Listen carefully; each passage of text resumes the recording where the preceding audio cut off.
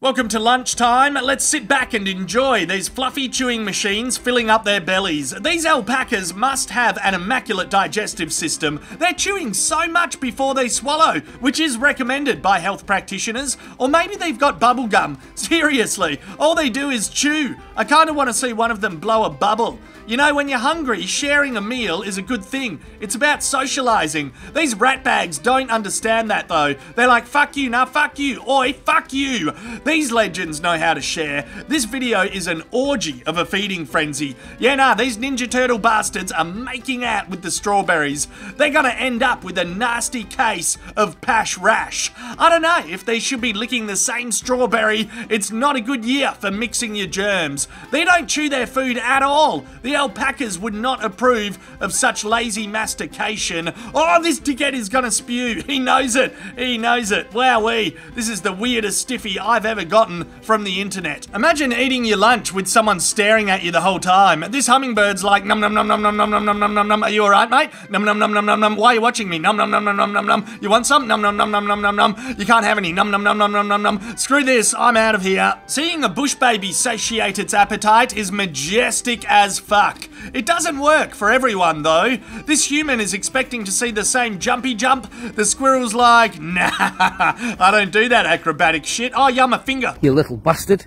A lot of animals depend on their mums for food, same as humans. Look at all the kids this mum is feeding. One of them isn't even hers. It's a bloody skunk from down the road. This reminds me of me and my mates in high school. My mum got stuck feeding them, not with her teats. Obviously, that's fucking gross. You know what I mean. Look at the mum. She's completely spaced out. She's like just a regular day, a regular day feeding the whole goddamn neighborhood. This isn't a game. This is literally a pack of hungry, hungry hippos. Come on, hurry up, give it to me. Fuck yeah! I'll even eat the skin. That's the best part. I don't want an entree. Give me the main dish. Yeah, watermelon. Fuck yeah! I'll have it for breakfast, lunch, dinner, crunchy crunch, crunch, crunch, crunch. Only two things in this universe can obliterate a watermelon like this the jaws of a hippo and the thighs of Olga from Ukraine. Satisfying stuff. This fish is a legend. I love people that finish a meal and clean their plate by licking the shit out of it. It's helpful. All you have to do is give it a quick rinse and wipe it off afterwards. All the hard cleaning work has been done. I'd imagine if I worked in a restaurant, I'd be super duper grateful that anyone cleaned their plate like this. And it's the best part. You finish a meal, you've got all that juice and sauce and shit left. It's delicious. This fish knows it. It's a wise fish. Good to see this quokka is chewing its plant plant-based meal. Yeah, no, yeah, that is a top-notch, fair dinkum chewing game. Look at the smug wanker.